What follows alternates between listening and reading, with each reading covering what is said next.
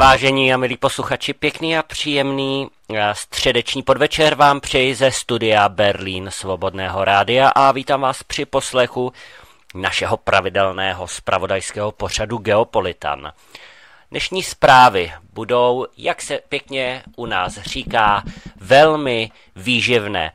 Protože jestliže někde blbost kvete, tak u našich německých sousedů už toto platí doslova a do písmene.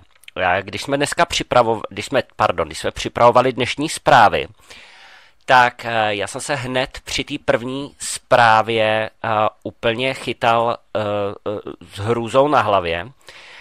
Každopádně, prosím vás, až vám někdo bude tvrdit, jak komunisti tady za minulého režimu, jak dělali špatná technologická rozhodnutí a jak to tady vedli cu grunt, tak se tomu dotyčnému vysmějte, pořádně se mu podívejte do očí a ukažte směrem na to západní Německo. Protože to, co se děje tam, toho teda opravdu ani ty komunisti uh, nebyli schopní dosáhnout. Pojďme k přehledu dnešních zpráv. Podíváme se dneska hodně na energetiku a to eh, právě v Německu. Izár 2, eh, nejlepší jaderná elektrárna na světě, jede k zemi v rámci klimafanatismu. Eh, závan turbínového větru zeleným ekofanatikům. Co jste o větrných elektrárnách nevěděli, aneb větrné turbíny již ve Francii nejsou schvalovány a to kvůli vysoké hlukové zátěži.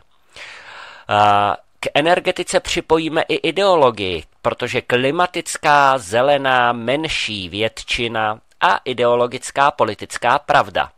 Politika a věda jsou špatní přátelé, protože politika je o většině, věda je o pravdě.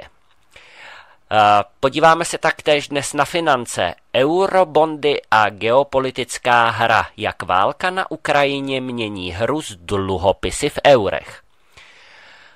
U financí pak dále zůstaneme, podíváme se na cenu zlata. Ta roste ve stínu umělé inteligence. A dalším naším tématem bude migrace a integrace. Opět se podíváme do Německa, protože více než každý druhý zločinec je cizinec. Migrace a kriminalita. V Berlíně přibývá násilí a kriminality cizinců. No a míra chudoby v Německu zůstává extrémně vysoká. jednocení v chudobě v rámci agendy 2030 a u tohoto bodu se potom taktéž trošičku zastavíme.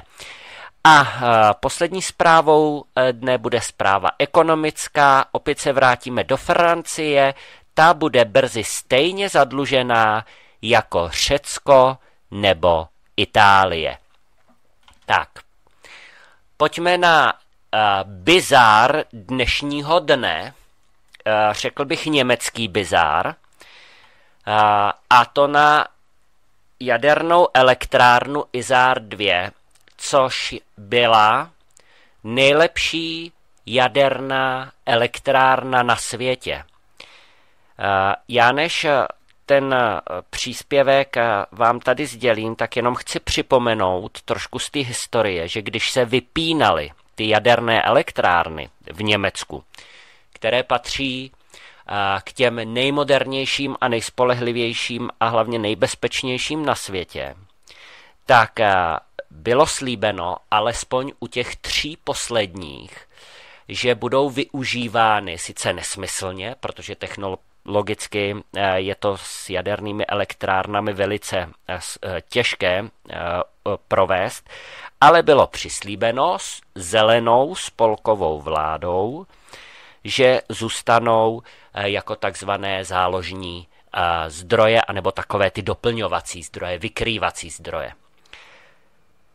Eh, protože eh, samozřejmě eh, náklady na pozastavení nebo zastavení jaderné elektrárny a udržování ji v takovém tom nouzovém režimu, protože ono to vypnutí úplné je dost náročný proces a vypínat se tedy neměli úplně, jak jsem teď před chvílí řekl.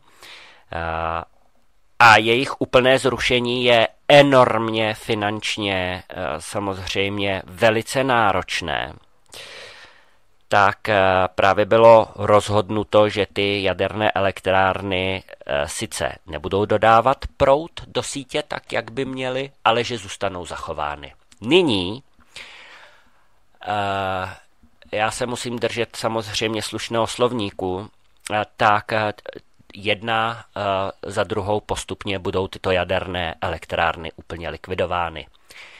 Málo povšimnutá zpráva agentury DPA znamená v Německu zlom.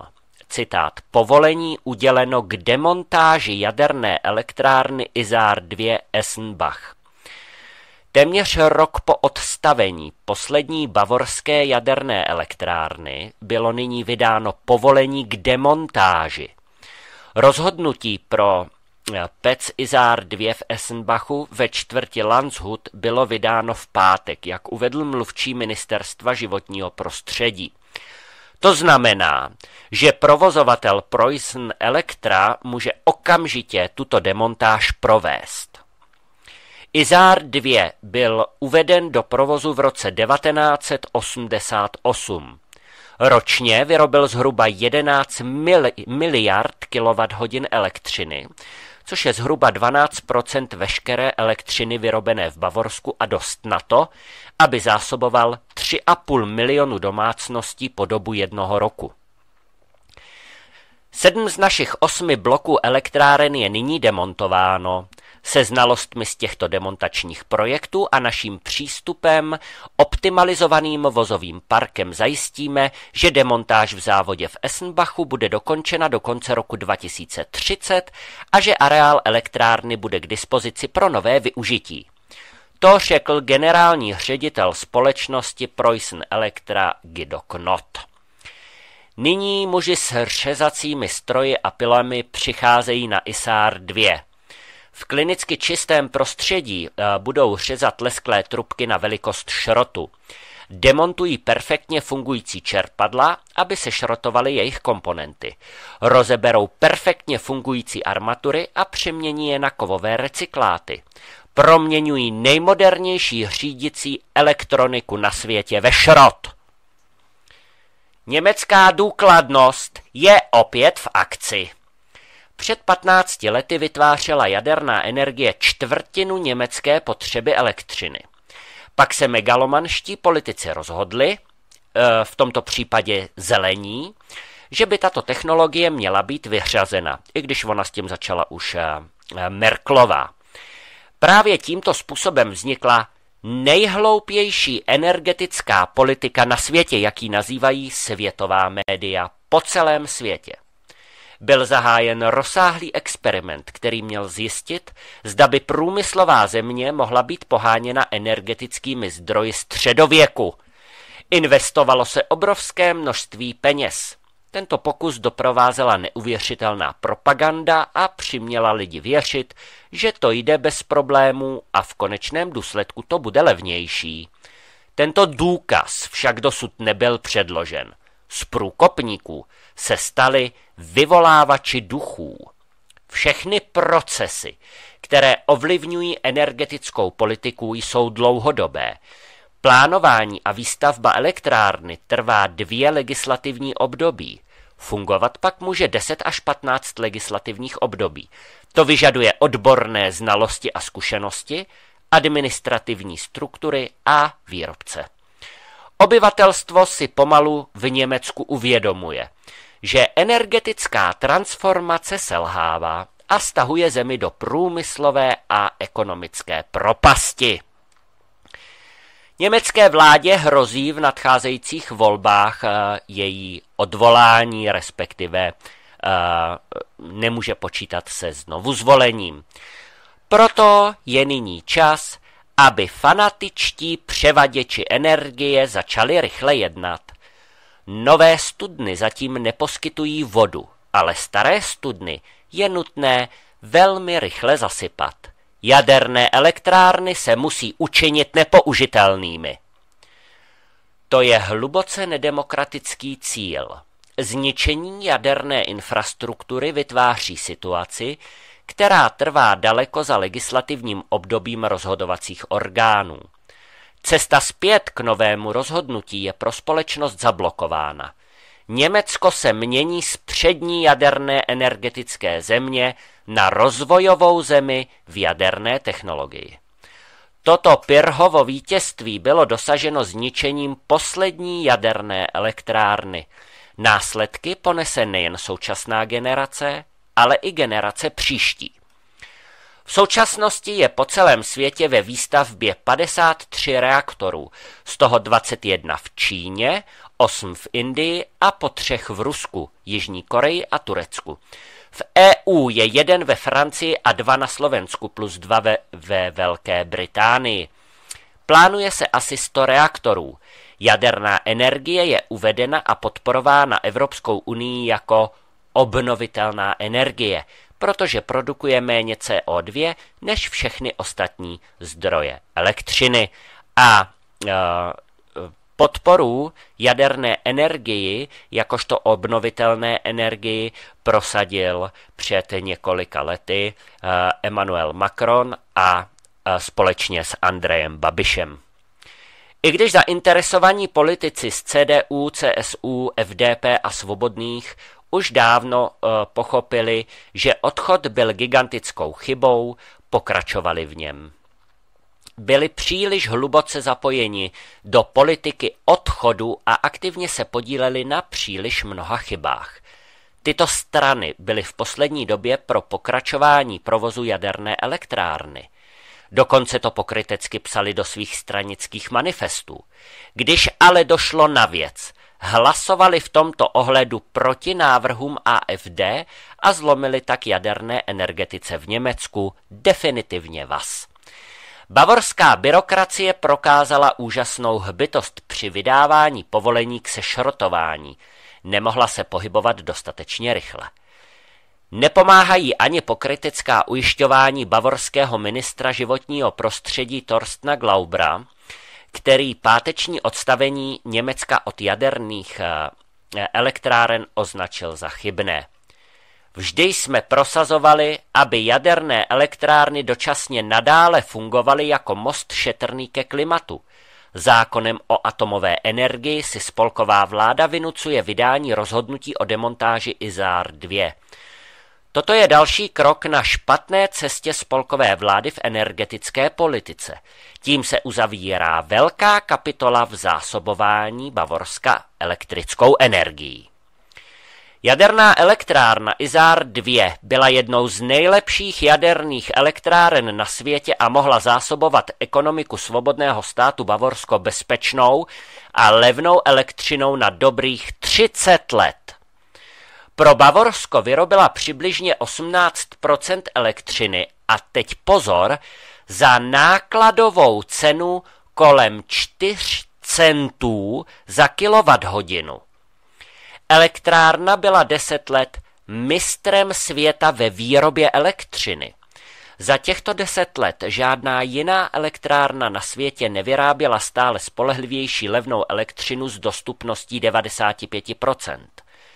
Izár 2 léta dokonce pomáhal vyrovnávat výstup třepotající se elektřiny z větru a slunce tím, že stoupal a klesal. Zelení tuto skutečnost dodnes popírají a tvrdí, že jaderná energie ucpává sítě. Izár 2 musí být nahrazen minimálně 1500 větrnými turbínami a třemi plynovými elektrárnami k tomu. Podle plánů spolkové vlády mají být Izár 2 nyní nahrazen větrnými a solárními generátory. V Bavorsku v noci stále nesvítí slunce, to se pravděpodobně v dohledné době nezmění. Bohužel větrné turbíny mají dostupnost pouze 20%. V Bavorsku mají větrné turbíny cenu výroby elektřiny od 11 centů za kilowatt-hodinu. Takže atom 4 centy, eh, vítr 11 centů. Aby bylo čistě matematicky nahrazeno 1500 MW izáru, musí být v bavorské krajině umístěno kolem 1500 moderních větrných turbín o výkonu 5 MW. Ale protože v Bavorsku jsou i chvíle, kdy je bezvětří, musí se postavit tři velké plynové elektrárny o výkonu 500 MW. Vzhledem k tomu, že tyto mohou být provozovány pouze nehospodárně z důvodu přednosti napájení větrem, musí je platit odběratel elektřiny a daňový poplatník. Je to trochu jako když Bavorsko sešrotuje téměř novou pračku míle, aby nakoupilo obrovské množství superdrahých valch. Valcha je totiž ekologická a neprodukuje CO2. Vraťme se tedy do středověku a hurá měřit četnost pšouků těch, kteří se uprání pořádně zapotí a možná, že se i po. Profesionální politici mají tři priority, které určují vše, co dělají. Nejprve přichází na řadu vlastní politická kariéra. Potom přichází uh, jejich vlastní síla. A pak přichází do hry uh, vaše vlastní strana jako prostředek pro kariéru a moc. Politici uznali, že odpor k jaderné energii by jim mohl být užitečný na cestě k dosažení jejich cílů. Ukončením jaderné energetiky byly vyzdobeny stranické programy a ty vyhrály volby. Být proti jaderné energii se stalo více než módní. Odpůrci jaderné energie byli součástí německé kultury po mnoho let. Nikdo se zúčastněných nepřichází na myšlenku položit si otázku, zda mnoho zemí, které provozují a rozšiřují jadernou energetiku, jsou všechny úplně hloupé, protože problémy, které nepochybně existují, vidí jako řešitelné. Němci ale získali pověst vševědoucích Sibyl. Nyní však nevyhnutelně přicházejí důsledky. Kdo bude muset zaplatit za neúspěšnou německou energetickou transformaci? Na tuto otázku je snadné odpovědět. Jsou to běžní občané. Termín degrowth již káže odříkání. Samozřejmě s cílem zachránit svět prostřednictvím Německa. Zřeknutí se nebude z dlouhodobého hlediska dobrovolné, neboť lidé už si nemohou moci dovolit pohodlí života. Jíst lahodné maso, nosit módní oblečení, jet na pěkné dovolené, mít malý domek se zahradou, pěkné auto a jakékoliv další celoživotní sny. Raději je dobré se jich zbavit, aby nepřišlo, nepřišlo hořké zklamání. S demolicí Izár 2 dělá Německo další velký krok na cestě k recesi, energetické nestabilitě, k nedostatku energie a k návratu do dob starého dobrého středověku. Takže uh, to byl uh, do jedno z posledních progresivistických uh, rozhodnutí německé spolkové vlády. No a my se dál, my dál u energetiky zůstáváme a podíváme se tentokrát do Francie a na ty uh, spásné turbíny. Závan turbínového větru zeleným ekofanatikům. Co jste o větrných elektrárnách nevěděli? A neb, větrné turbíny již nejsou ve Francii schvalovány kvůli hlukové zátěži. V senzačním rozhodnutí byla zrušena všechna povolení pro větrné turbíny ve Francii. Důvod? Občané by byli bezdůvodně obtěžováni nadměrným hlukem. Tamní soudci se totiž domnívají, že akustický dopad větrných turbín má výrazně větší dopad na zdraví místních obyvatel než v Německu. Ve Francii státní rada prohlásila povolení pro pobřežní větrné turbíny a pravidla pro obnovu větrných elektráren za nezákonné. To znamená, že pro větrné projekty nelze vydat žádná nová environmentální povolení, dokud nebudou definovány nové protokoly pro klasifikaci akustického obtěžování větrnými turbínami. To platí zpětně i pro již schválené a postavené větrné turbíny. Státní rada tak vyhověla žalobě podané zastřešující organizací na ochranu životního prostředí Federation Environment Durable eh, se zkratkou FED. Eh, občany by totiž hluk z větrných elektráren bezdůvodně obtěžoval. Fed to přivítal jako historické rozhodnutí a nazval to hlavním vítězstvím pro ochranu životního prostředí, zdraví místních obyvatel a dodržování zákona. Toto rozhodnutí následovalo, následovalo na žádost Fedu a dalších 15 asociací. Státní rada zjistila, že ministerské předpisy o měření hluku nepodléhají posuzování vlivů na životní prostředí a jedná se tak tedy o porušení zákona. Státní rada navíc zdůraznila, že rozhodnutí schvalující akustický protokol nezávisí na účasti veřejnosti, což porušuje principy participace a transparentnosti. Ve Francii se proti hluku svět, z větrných turbín bojuje dlouhodobě. Tamní soudci se domnívají, že masivní akustický dopad hlasitých větrných turbín má výrazně větší dopad na zdraví místních obyvatel než například v Německu či v České republice. Je ale trochu překvapivé, jak dokonale dokázala ekoprůmyslová lobby zcela ignorovat dobře zdokumentovaná zdravotní rizika.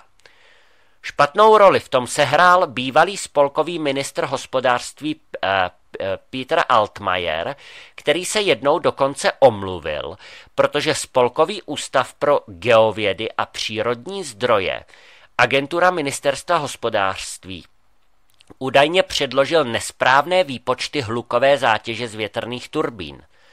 Výsledkem potom bylo, že jejich přijetí do určité míry utrpělo. To řekl Altmaier v úklonu tehdejšímu průmyslovému komplexu zeleného větru. Ředitel kliniky pro kar- kardiotorakální a cévní chirurgii Univerzity v Mohuči Christian Friedrich Wahl to tehdy v rozhovoru rozporoval.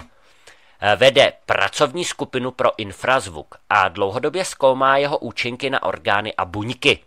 Nutí lidi, aby se posadili a všimli si. Citát po korekci BGR se stížnosti postižených již nevyjadří v rozsahu nad 90 decibelů, ale v rozsahu mezi 60 a 70 decibely, protože skutečný infrazvukový tlak zůstává stejně jako poškození zdraví. Kromě toho jsou systémy větrného průmyslu mnohem větší, než byly před 20 lety a proto je naléhavě nutné provést nové studie o větších dopadech těchto gigantických větrných turbín. Vytvářejí výrazně vyšší infrazvukové tlaky s odpovídajícími nebezpečnými účinky na orgány a tělesné buňky. Turbíny větrných elektráren, z nichž některé jsou vysoké 200 metrů, pokrývají zemi jasným kobercem zvuku, který sahá od spodní hranice slyšitelnosti až do neslyšitelného rozsahu. A, ale naše tělo to samozřejmě cítí. Biolog Wolfgang Miller měl ve své knize Větrné turbíny je vám špatně, účinky infrazvuku na naše zdraví, tak v této knize dokumentuje hlavní výsledky všech celosvětových výzkumů. Každý, kdo se chce dozvědět o větrné energii a věří ujištěním Spolkového ministerstva životního prostředí a státních ministerstev s přidruženými státními úřady životního prostředí nebo státními ústavy, je klamán. To napsal Miller, který však mezi tím bohužel zemřel. Existují molekulární mechanismy, které pomáhají tělním buňkám detekovat mechanické síly a spouštět biochemické procesy v buňkách. Jednou z těchto mechanických sil je také infrazvuk z větrných turbín, to znamená, tělo extrémně citlivě reaguje na tlakové události, a to i bez toho, aby si toho člověk přímo všiml. Účinky jsou patrné potom dlouhodobě. Právě kolísání tlaku vzduchu má rozkladný účinek. Ve vyšších rozsazích vibrací je vnímán jako akustické události, jako je mluvení, hudba a zvuky. Pod Prahem kolem 20 Hz je již neslyšíme, ale stále jsou a působí na organismus. V těchto nízkých frekvenčních oblastech mají tyto zvukové návyky také velmi nepříjemné vlastnosti. Šíří se téměř nerušeně na velké vzdálenosti. Jsou přenášeny vzduchem na velké vzdálenosti a to až 20 kilometrů. Nejsou například stíněny zdmi, proto ani není užitečné, aby se obyvatelé schovávali do místnosti v suterénech, neboť infrazvuk stále proniká. K rovnoměrnému kolísání tlaku dochází, když lopatka větrné turbíny míjí věž. Zde se tlakové poměry na listorotoru krátce změní a pokračují jako vlna. Každý, kdo stál vedle větrné turbíny, je překvapen, jak je hlučná. Je slyšet nejen hluk rotorů, ale také hluk z gondoly nahoře. Ale kromě těchto slyšitelných zvuků strojů vydávají větrné turbíny také nízkofrekvenční zvuk a infrazvuk. Kolísání tlaku se šíří do dutin, protože jsou spojeny s vnějším světem. Tyto nízkofrekvenční kolísání tlaku ovlivňují pevné struktury a tkáně. Jsou v ní četné receptory, které dokážou reagovat na sebe menší výkyvy tlaku vzduchu. Extrémně citlivý ušní bubínek a střední ucho jsou neustále ovlivňovány. Biolog Miller k tomu říká, Receptory ve středním uchu neustále měří aktuální tlak vzduchu, aby její mozek mohl vypočítat proti kolísání tlaku zvukových vln. Tento proces zpracování je nezbytný pro posouzení a porovnání různých věmů hlasitosti. Mimořádně citlivý rovnovážný orgán je také ovlivněn kolísáním tlaku infrazvuku. Francouzský odvolací soud ve Francii již v roce 2021 rozhodl ve prospěch žalobců, kteří žijí v blízkosti větrných turbín a zjistil, že provoz systému vedl ke změnám jejich zdravotního stavu. V odvolání soud prohlásil, že žalobci trpí takzvaným syndromem větrných turbín. To je způsobeno nízkofrekvenčním zvukem a infrazvukem.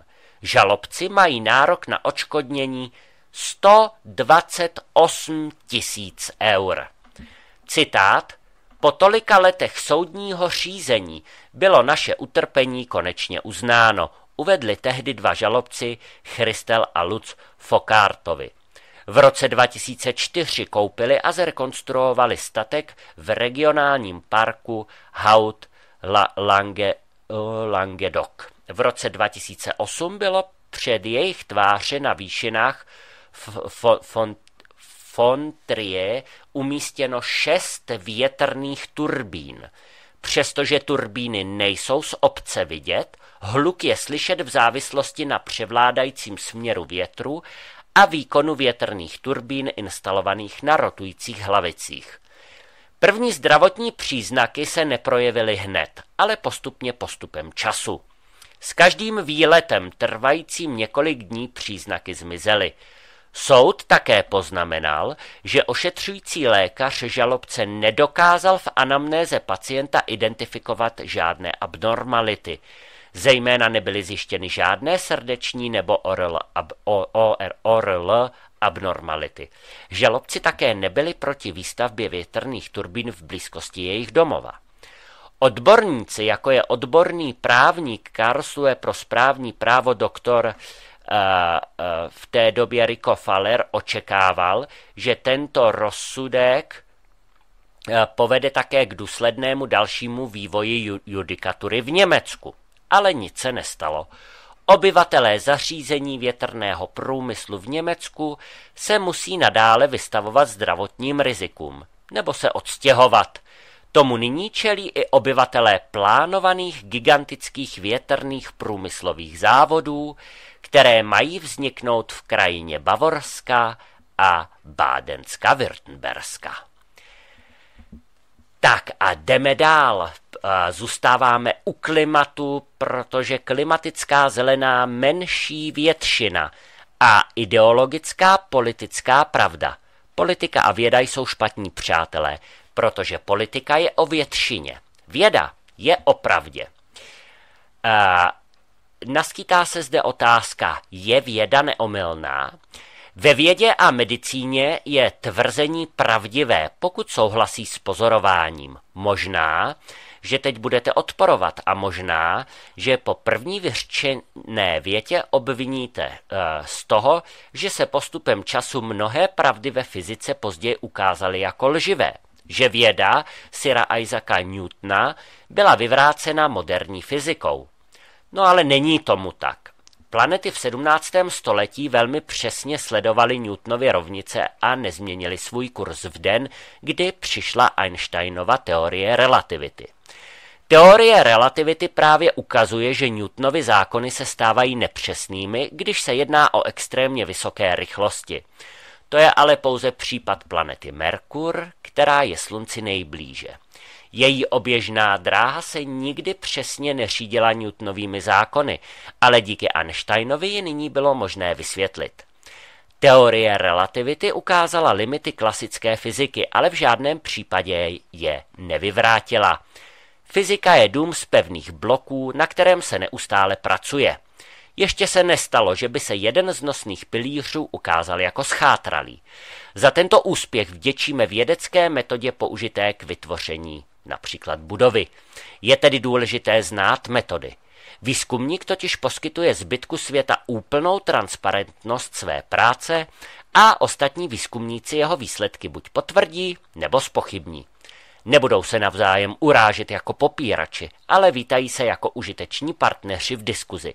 Nikdo není zesměšňován ani umlčován, protože chybovat je lidské. Dnes se ale politika příliš tlačí do sféry vědy. No a jak se to stalo? V roce 2000 Al Gore prohrál volby amerického prezidenta s Bushem juniorem. Gore pak objevil své srdce pro klima a vyzval ke globální válce proti oxidu uhličitému, který údajně ohřívá atmosféru. Groteskní je, že v té době si nikdo nikdy nestěžoval na příliš vysoké teploty. Ale rychle se objevili takzvaní pseudovědci, kteří měřili požadované oteplení a pomocí superpočítačů vypočítávali, že svět brzy zahyne a my s ním. CO2 prý od té doby neustále přibývá.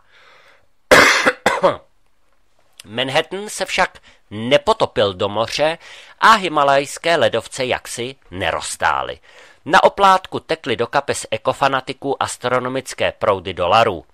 Dosavadním vrcholem je klimatická konference v Dubaji v roce 2023 s ohromnými 94 tisíci účastníky, kteří byli pravděpodobně motivováni více vidinou osobního zisku než vědeckou pravdou a přiletěli soukromými tryskáči. Každý, kdo dnes spochybňuje oficiální narrativ o změně klimatu, je vykreslován jako popírač klimatických změn, který je v rozporu s konsenzem jakési většiny.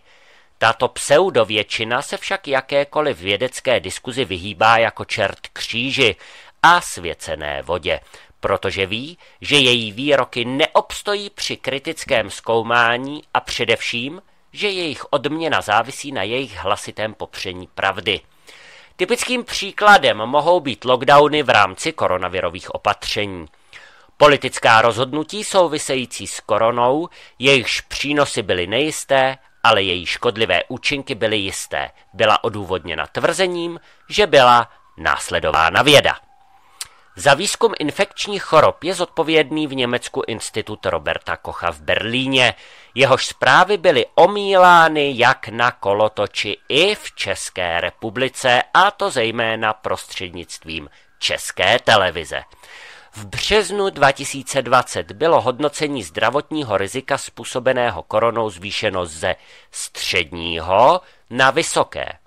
Toto rozhodnutí pak posloužilo politické exekutivě jako ospravedlnění pro lockdown a další omezující opatření.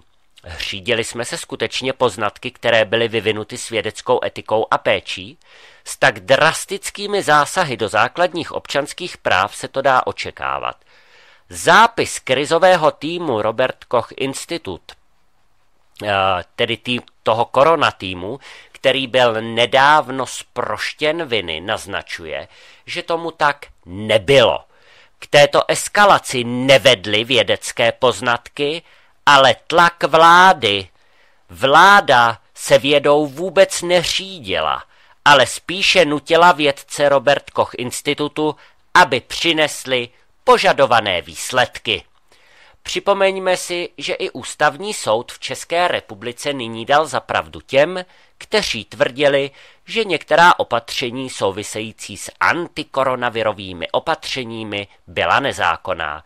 K těmto procesům v České republice výrazně přispěla nyní paní senátorka Jana Zvěrtek-Hamplová, která se například vyjádřila, že ministerstvo zneužívá pandemický zákon ke zneužití svých pravomocí, které aplikuje zcela vědomně v rozsahu, který neodpovídá aktuální situaci v České republice a za situace, kdy si musí být plně vědomo, že situaci v České republice nelze už několik měsíců nazvat epidemií ani pandemií.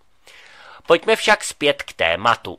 Lékaři, kteří se zavázali k přísaze primum non nocere v první řadě neškodit, a kteří odmítli dodržovat pochybné politické směrnice, jsou zavřeni ve vězení a čekají na soud měsíce. Jsou to stateční dědici Žordána Bruna. Dostatečně často opakovaná lež je velmi často nakonec přijata širokou veřejností a nejen to, je dokonce bráněna. Toho bylo dokonale dosaženo, pokud jde o změnu klimatu a o koronu, a nejinak tomu bylo, pokud šlo o postupné vyřazování i jaderné energie v Německu. To je dodnes ospravedlněno údajnými 18 tisíci úmrtími z Fukushimy, i když se již deset let ví, že na důsledky radioaktivního záření zemřel prokazatelně pouze jeden člověk. Nyní je třeba se obávat, že se tento obchodní model uznávaných lží bude opakovat, zejména proto, že nové generace jsou svými učiteli vychovávány ke správnému přístupu a téměř nikoliv ke kritickému myšlení. A to není dobré. V průběhu staletí vznikla na západě pevná struktura z vědeckých poznatků získaných poctivým hledáním pravdy. Věda a technika se v průběhu staletí neustále učily, čímž neustále zlepšovaly kvalitu života lidí. Politika se ale vyznačuje tím, že se pravdě vyhýbá, že o sobě nepochybuje a že se z historie nic neučí a, jak vidíme, ani se učit nechce. A tak neustále staví chabé ideologické konstrukty, které se čas od času katastrofálně hroutí a pod sebou pohřbívají statisíce souhlasných přikyvovačů a nejen jich. Ideologie požírá své děti a to je cena společnosti, která následuje většinu a ne pravdu. A nyní se podíváme na ekonomiku. Eurobondy a geopolitická hra jak válka na Ukrajině mění hru z dluhopisy v eurech. V souvislosti s válkou na Ukrajině a snahou Evropské komise o získání větší moci se zdá, že společné dluhopisy v eurech, známé jako eurobondy, se stávají středem pozornosti. O tom, jaký vliv by mohla mít tato situace na evropskou ekonomiku a politiku, hovořil nebo hovořili redaktoři uh, Deutsche Wirtschaftsnachrichten s profesorem Günterem Schnablem, uh, odborníkem na hospodářskou politiku a mezinárodní hospodářské vztahy na Lipské univerzitě. Uh, pojďme se podívat na stabilní euro a jeho historický kontext. Rozhovor s profesorem Šnáblem odhaluje zajímavé pohledy na minulost, přítomnost a budoucnost eura. Diskuze začíná od počátku německé prosperity, jež byla založena na tvrdé německé marce a nezávislé německé Bundesbank. Tato tvrdá měna vytvořila základ pro německý hospodářský zázrak, který později oslabilo zavedení eura v roce 1999. Euro, původně zamýšlené jako stabilní měna, se postupně proměnilo v měkkou měnu, což vedlo k problémům, jako je rostoucí inflace a ztráta prosperity v důsledku nedostatečné konkurenceschopnosti. No a jaké jsou důsledky politiky Evropské centrální banky a hledání alternativ? Rozhovor dále osvětluje politiku Evropské centrální banky ECB, která otevřela vládám v eurozóně prostor pro financování pomocí rozsáhlých nákupů státních dluhopisů. Tento přístup může posílit centralizaci a snížit efektivitu, což je v rozporu s původním záměrem eura jako stabilní měny. Navíc se diskutuje o možných alternativách, jako je de-dolarizace globální ekonomiky a o potenciálních výzvách, kterým čelí země BRICS při hledání alternativ k dolaru. A nyní něco ke, k geopolitickému významu stabilního eura a budoucímu směřování EU. Profesor Schnabel v tom rozhovoru zdůraznil, že stabilní euro by mohlo posílit hospodářskou moc Evropské unie a pomoci jí udržet geopolitický význam ve změněných mocenských osách světa. Nicméně závisí ale na schopnosti EU provést reformy a vrátit se k původním zásadám, zejména co se týče cenové stability. A k tomu se Evropská komise v žádném případě nemá. Cenová stabilita eh, je klíčový pilíř prosperity. Podle profesora Šnábla je cenová stabilita základním faktorem pro udržení prosperity a hospodářského růstu. Historie německého hospodářského zázraku po druhé světové válce to jasně ukázala. Tvrdá německá marka chráněná nezávislou Bundesbank poskytovala stabilní základ pro ekonomický rozvoj. Profesor Schnabel navrhuje, že Německo a Evropa by se měly vrátit k těmto zásadám a dát prioritu cenové stabilitě před krátkodobými politickými cíly. No a řeč je taktéž o omezení centralizace a zachování subsidiarity. Dalším klíčovým prvkem profesorových návrhů je omezení centralizace a zachování subsidiarity.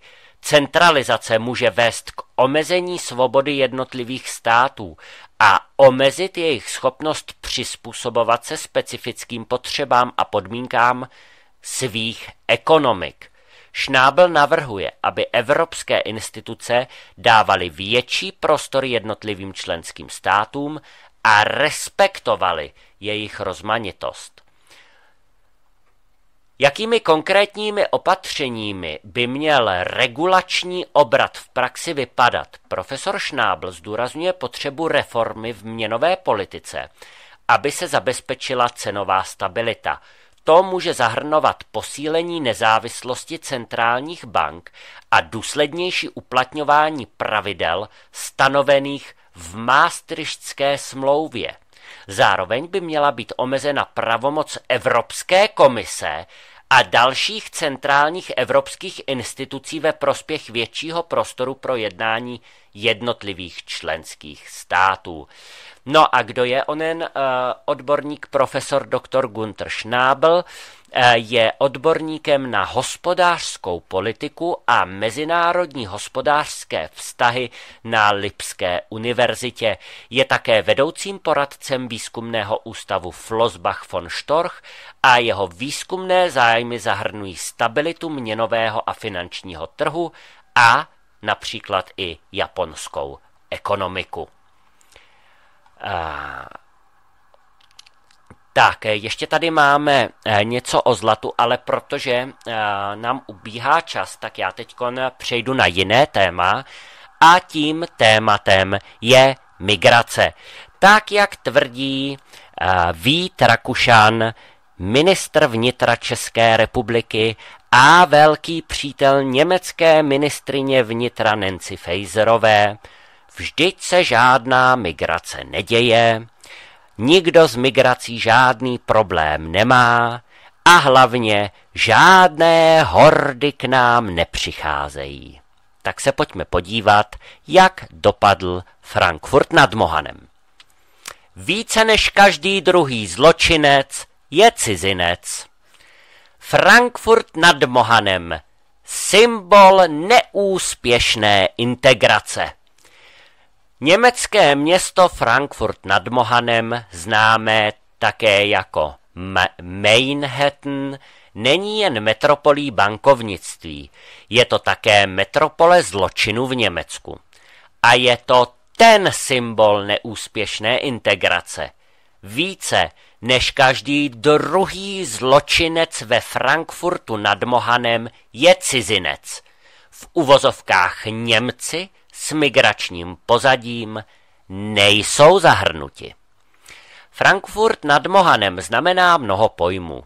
Pavlův kostel, Římané, letiště, banky, čtvrť Ebel, e Ebelvoj v Sachsenhausenu, snad až na pár výjimek Waldstadion a Eintracht. Frankfurt nad Mohanem je v současnosti na vrcholu velmi zvláštního žebříčku. Je hlavním městem zločinu Německa. A nejen to. Frankfurt nad Mohanem je také, více než jiné metropole jako Berlín nebo Köln, Kolín, symbolem neúspěšné integrace, protože každý druhý zločinec identifikovaný ve Frankfurtu nad Mohanem je cizinec. Dokazují to čísla z aktuálních statistik frankfurtské kriminální policie, o kterých informoval německý mainstreamový deník Bild. Šokující statistiky jdou ale ještě dál a pro integrační utopisty a propagandisty jsou čím dál obtížněji stravitelné. V případě závažných a mimořádně závažných trestných činů se podíl cizinců zvedá dokonce nad 50% hranici. Jejich podíl na celkové populaci je v uvozovkách jen 31%. Mimochodem, počet Němců s migračním pozadím není v těchto statistikách zaznamenán. Obrázek v úhledně vypracoval malý výběr zločinů. V případě vraždy je podíl cizinců 54%, v případě zabití téměř 65% a u ostatních trestných činů proti životu 60%.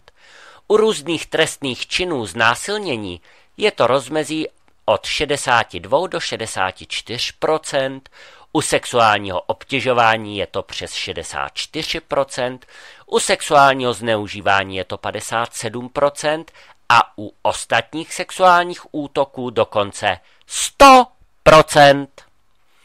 Pokud jde o různé závažné majetkové trestné činy, podíl cizinců je v porovnání s jejich populací také neúměrně vysoký.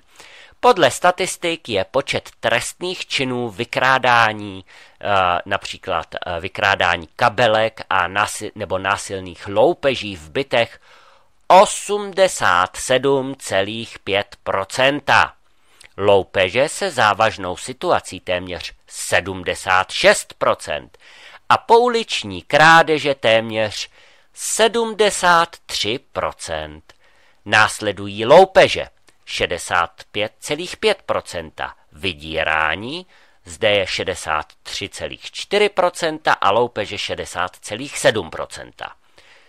Tyto statistiky jsou doplněny o několik zvláště vysokých hodnot. U obchodování s lidmi a nucené prostituce je to přes 83% cizinců u kapesních krádeží je to 93%. Mimořádně nadměrně jsou zastoupeni i cizinci, zejména pokud jde o padělání. Padělání peněz dosahuje 75%, padělání dokladů přes 77% a manipulace s úředními průkazy dokonce přes 97%. Policejní mluvčí se ke kvótě cizinců v článku vyjadřuje takto, cituji. Pokud vyloučíme ze statistik porušování imigračního zákona, máme podíl 57,4% podezřelých mimo Německo. S podílem cizinců v populaci ve Frankfurtu nad Mohanem jen 31%, bez zohlednění Němců s migračním pozadím, kteří byli identifikováni jako zločinci. Pro srovnání, v celostátním průměru je podíl cizinců vyšetřovaných pro trestné činy jen 35%. Podíl cizinců, Němci s migračním původem jsou opět evidováni samostatně, se oficiálně pohybuje kolem 16%. A závěr? Cizinci v Německu jsou v poměru k jejich podílu na populaci extrémně nadměrně zastoupeni, pokud jde o páchání trestné činnosti. Takže zdravím z Německa Víta Rakušana a pokud mu e, chybí ty hordy, po kterých se mu tak strašně stýská, ať za jeden skočí na, za návš, na návštěvu za kolegyní Nancy Fejzrovou. Ona ho Frankfurtem e, nad Mohanem určitě ráda e, provede.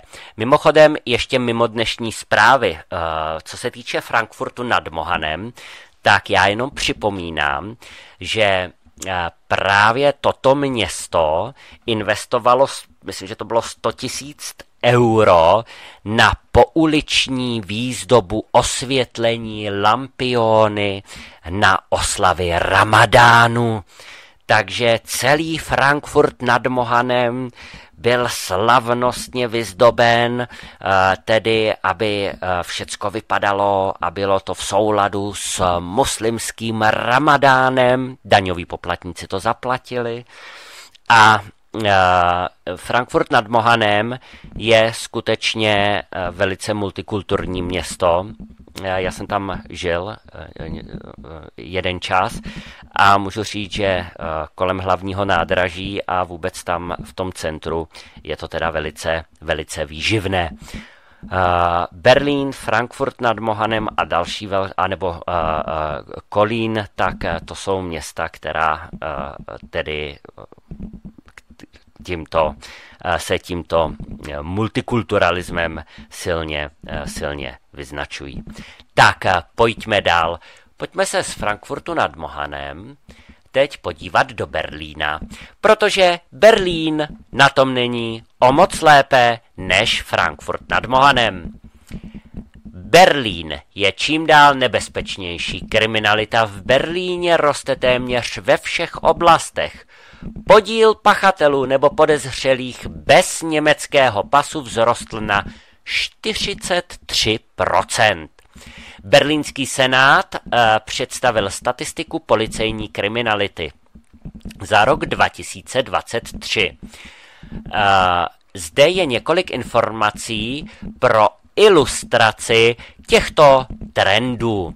Změny oproti předchozímu roku. Počet znásilnění a sexuálních útoků vzrostl o 8,1%. Počet brutálních trestných činů a násilných činů vzrostl o 10,7%. Počet krádeží vzrostl o 5,6%. Počet domácích vloupání se zvýšil o 35,2%. No a podíl podezřelých bez německého pasu se zvýšil. Podíl podezřelých ze sexuálních trestných činů bez německého pasu je 35,9%. Podíl podezřelých z loupeže eh, je 53,1% a podíl podezřelých osob eh, z eh, kapesních krádeží je 91,1%. Takže vážení a milí posluchači, tolik k multikulturalismu. Mně tady zbyly ještě dvě, ne, tři zprávy, já si je nechám na zítra, protože zítra mám výjimečně vysílání a mně nezbývá, než vám popřát pěkný zbytek dne a příjemný poslech dalších pořadů Svobodného rádia a se s vámi budu těšit zítra od 19 hodin ve výjimečném vysílání opět naslyšenou. Takže pěkný dobrý večer a za minutu přepojím do dalšího studia.